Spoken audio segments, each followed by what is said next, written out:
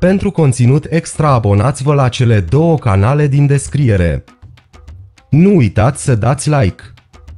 Agenția de talente și sentimente, episoadele 1, 2 și 3 Dicle, o tânără care a absolvit departamentul de radio și televiziune, se mută în Istanbul, inima industriei cinematografice, pentru a-și urma visul.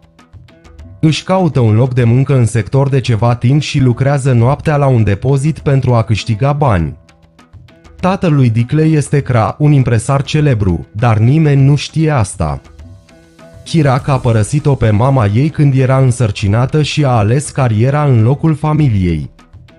Când Dicle nu își găsește un loc de muncă în sector, se duce la tatăl ei ca ultimă soluție și îi cere doar o scrisoare de recomandare. Chirac încearcă să o trimită înapoi pentru că nu vrea să se afle că este fiica lui. Îi spune că îi va aranja o slujbă undeva în Antalya, dar Dicle nu acceptă. Înainte ca ea să plece, el îi pune niște bani în buzunar fără să vadă, dar când Dicle îi găsește, se duce la agenția lui să îi returneze banii. Chiar atunci, asistenta impresarei Feris de la agenție, colega lui Chirac, demisionează. Feris o angajează pe Dicle ca asistentă prin semnarea unui acord de confidențialitate și a unui contract prin care se precizează că nu va mai putea lucra în același sector timp de 2 ani dacă renunță la serviciu sau dacă este concediată. Chirac păstrează secret condițiile contractelor actorilor lui, iar Feris îi cere lui Dicle să intre în biroul și să afle pentru ce sumă a încheiat ultimul contract. Dicle nu vrea să facă asta pentru că consideră că este greșit. În primul episod, Tuba Buiucastun este invitată special ca una dintre cele mai importante cliente ale agenției. Cinar este impresarul ei. Tuba este în discuții pentru a juca în filmul Bond în America, dar este refuzată din cauza vârstei. În timp ce Cinar o evită și se gândește cum să-i spună fără să-i rănească sentimentele și desigur fără să-i spună că este prea bătrână pentru rol, Dicle o întâlnește și dezvăluie totul, crezând că Tuba știa deja. Tuba se supără pe impresarul ei pentru că nu i-a spus și îl concediază.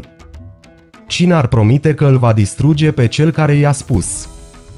Toți din agenție se întreabă cine este trădătorul, iar Dicle speră că nu se va afla că ea este pentru că și-ar pierde locul de muncă.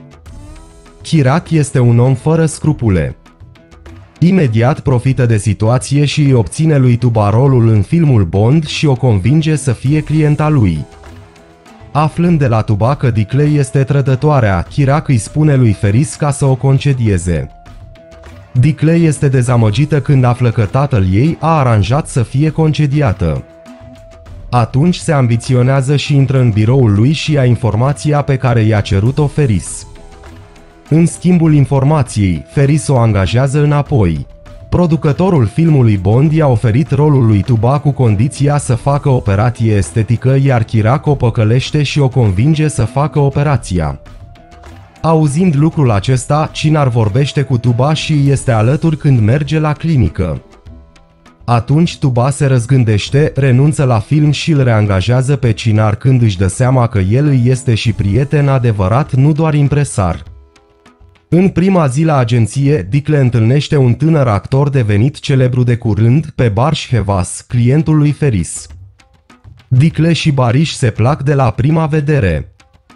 Feris o atenționează pe Dicle să păstreze distanța față de el și să nu fie văzuți împreună de jurnaliști. Îi spune că el este celebru și că o relație între ei nu este posibilă. Nadir, partenerul agenției care deține 60% din acțiuni, moare. Toată lumea este foarte supărată.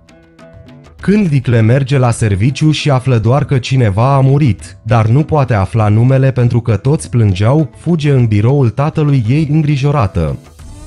Când îl vede pe Cra, îi spune ușurată că s-a temut că i s-a întâmplat ceva. În birou este și soția lui. Vă mulțumim pentru vizionare!